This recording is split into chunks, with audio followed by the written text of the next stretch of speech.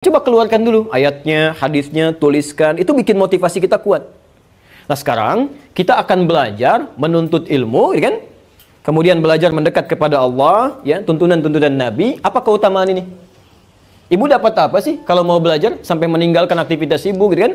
Siang-siang orang tidur ibu datang ke sini, Kemudian Masya Allah, mohon maaf ya, mohon maaf. Barangkali sekarang banyak orang sibuk, berkemacetan, ya macet-macet ria, ada yang sedang kerja, ada yang sedang istirahat. Ibu mau datang ke sini untuk belajar. Ibu dapat apa?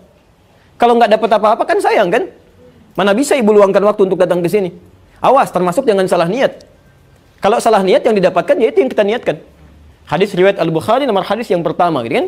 Innamal a'malu setiap pekerjaan bergantung niatnya. Ibu datang dari rumah ke sini, niatnya cuma pengen ketemu teman, ibu dapatkan itu. Nggak ada pahala ibadahnya. Ibu ke sini cuma pengen nyobain aja. Kayaknya kemarin ada rujak enak di situ. Datang lagi. Dapatnya cuma rujaknya. Nggak ada yang lain. Ya. Saya penasaran siapa sih ustadznya. Cuman ketemu aja, nggak dapat apa-apa. Nggak ada gitu. Ya.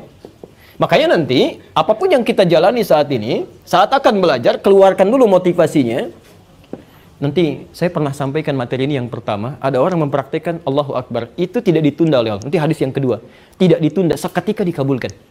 Di antara keutamaan mengikuti taklim, kalau benar kita ikutnya, Anda berdoa, doa Anda bisa seketika dikabulkan. Seketika. Saya dua tahun dua kali menyampaikan ini dalam kesempatan manasik haji. Jadi setiap menjelang musim haji, kami undang teman-teman yang pengen berhaji atau yang pengen belajar. Kita buka seluas-luasnya. Diadakan daurah langsung pakai miniatur Ka'bah itu saya sampaikan bagi yang belum berhaji atau apa-apa minta sama Allah saat kita belajar nanti. Itu dua kali selalu terjadi, Bu. Tahun kemarin ada seorang datang di depan Ka'bah yang lain merekam dia nangis. Ya Allah, saya nggak tahu kapan saya bisa haji gitu kan. Tapi saya merasa sekarang sedang di depan Ka'bah ya Allah, dia nangis tuh. Apa yang terjadi begitu pulang, sholat di musola, berjamaah, baca ayat haji, selesai salam, datang seseorang. Pak, tadi yang imamin ya? Iya. Baca ayat haji ya? Iya. Pak, tolong siapkan paspornya ya, ditunggu tiga hari sebelum data batas pendaftaran. Tiga hari. Oh enak plus berangkat. Sampai kami kehilangan satu bulan datang, Ustaz saya izin kemarin nggak ikut ta'lim benar. Ke mana? Saya haji Ustaz. Sudah sekarang nggak ada materi. Anda saja yang datang ke sini ceritakan pada kami apa yang terjadi. Ya. Tahun ini kami praktekkan lagi, kami bimbing dengan teman-teman yang lain, ya. Kemudian apa yang terjadi? Allahu Akbar. Ini langsung, langsung ya. Maaf dari teman-teman dari, ya saya nggak usah sebut ya karena kita direkam sekarang kan. Salah satu instansi pemerintahan datang, ya. Dia berdoa sama melakukan yang sama. Pulang dari situ belum sampai rumahnya, Bu, sedang naik motor, ditelepon sama komandannya. Kamu sudah haji belum? Belum, saya ada di atas Saudi nih sekarang. Kamu dikasih bagian ya, lima. Undangan langsung dari Raja Saudi. Diundang, dia, dia memohon kepada Raja dunia dan akhirat, diteruskan kepada Raja kecil dunia. Hei, undang si Pulan nih, saya yang undang, bukan undangan formal kamu, tapi saya yang undang. Masukkan ke dalam undangan. Dia bingung, sampai bingung dikasih lima. Siapa aja dan bebas katanya. Dia telepon ibundanya. Ibunya haji, sahabatnya ikut haji, berangkat tuh. Ya.